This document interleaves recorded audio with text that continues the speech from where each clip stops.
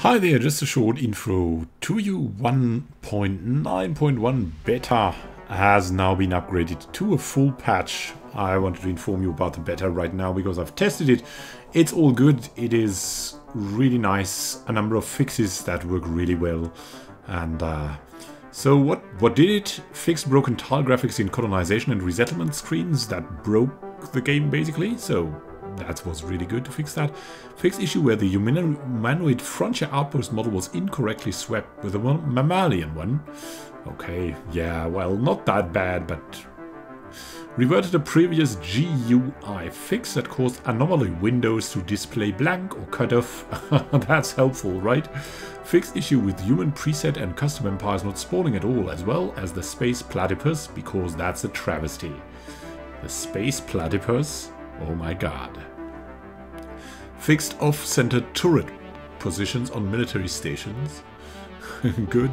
Fixed the Technocrat voice-over name not displaying properly in the voice selection screen in Spanish and Russian. I'm sure you'll rejoice. Fixed some low repro possible crashes. Good. Good, good. I've had some crashes in Stellaris especially in the late game with millions of, of fleet power. So it's understandable, but still, fixes are welcome. Fix the Plantoid species pack being rendered with remarkable brevity in the launcher, simply Plantoid. Okay. Um, fix the crash that happened when you shift, select a fleet and a spaceport, then try to click on the spaceport in the, li the list of selected items. Oh, that can actually happen. So, well, all good fix is there, and um, there's a discussion thread. If you're interested, I'm linking it in the description, the um, discussion thread, and uh, yeah, so Stellaris has made great strides in 2017, and we're just getting started. 2018 is going to be massive, and I think that too, with Cherryh 2.0 coming.